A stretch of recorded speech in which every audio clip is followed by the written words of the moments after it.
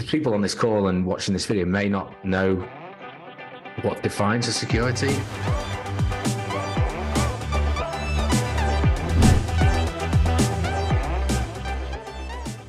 And there's been a lot of talk about the Ripple case with the SEC uh, and sort of, you know, how that may impact how the rest of the crypto market is is seen. So, what I wanted to effectively uh, say um, is the term security. Uh, it's been around for a long time, and there was a um, a test that says a four prong test. It said here the Howey test, which again has been around for about seventy years. So this is why people are suggesting that you know it either needs updating or it just doesn't doesn't fit with with cryptocurrencies.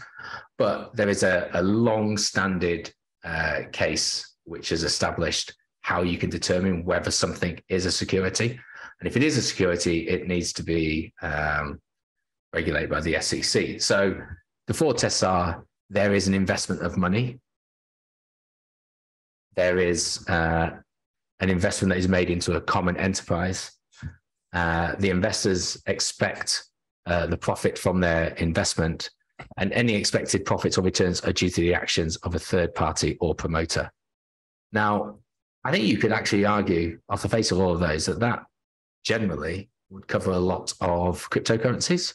You know, we have to invest money on, on, on the projects as a common enterprise, we're all we're all trying to get a common goal uh, within that, and it's what, whatever that particular platform or that that token or project necessarily is. We do expect to make a profit on our investment, and generally, as investors, we actually don't do any of the work. Uh, and so that's the argument that the the SEC has um, about that. Um, but we've been hearing for years that um, know, cryptocurrencies shouldn't be classed as securities.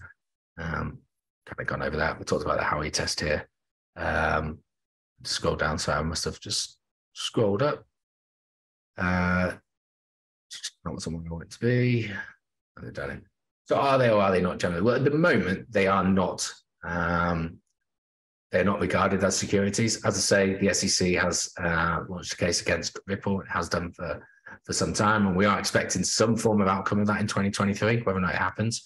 Uh, but the nature and use of many cryptocurrencies overlap the SEC securities definitions, and therefore many cryptocurrencies issued like stocks and the way they generated funds for new projects is similar to initial public offering. So whenever a stock launches, we have an IPO uh, to raise funds, uh, and the argument from the SEC side and you know, kind of hard, maybe not to argue with it, is back in 2017, 2018, even 2019, there's a thing called the ICO, which was the initial coin offering.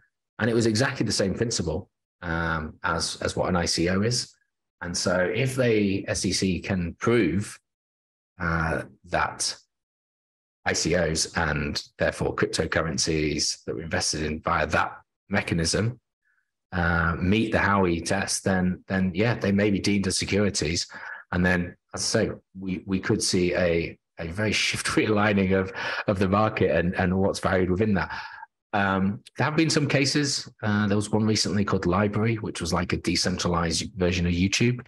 Um, so that was in the, it was in Texas. I can't remember where exactly, but that was deemed as a security, uh, which was seen as a bit of a blow for Ripple's case. Um, and, and again, they applied the Howey test to that, and it was deemed that it met all of those criteria. So it's a much smaller case uh, than than the SEC uh, Ripple one, which I don't know where that one's based out of, but uh, it was at least a first victory uh, for the SEC. We did cover it on Avenger Call back over the summer, whenever it happened.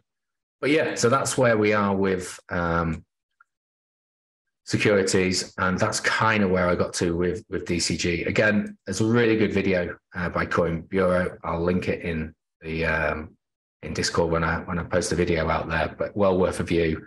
It goes into it in a bit more detail um, and a few more fancy graphics than, than I've used. Um, but hopefully, you at least get a picture. And, and if nothing else, I just you know want to re-emphasize that whilst we're here battling on whether or not to buy our one BTC uh, at twenty thousand there are companies just playing around with billions, uh, just trying to make themselves whatever funds and money that they want. So we really are um, at the bottom of this game. Um, and you know we're at the mercy of however this comes out. If this this turns out to blow over and it's nothing at all, it was just a bit of fun that doesn't materialize, hey, great, we've got a great platform to to go off. But if somehow this gets nuked, Gen- um, Genesis goes under, and by default, Grayscale potentially, um, and DCG, then you know this bear market, the price of Bitcoin, it's going to fall. It's going to last a hell of a lot longer, and you know that that uh, confidence that is slowly coming back into the market is just going to be rattled again.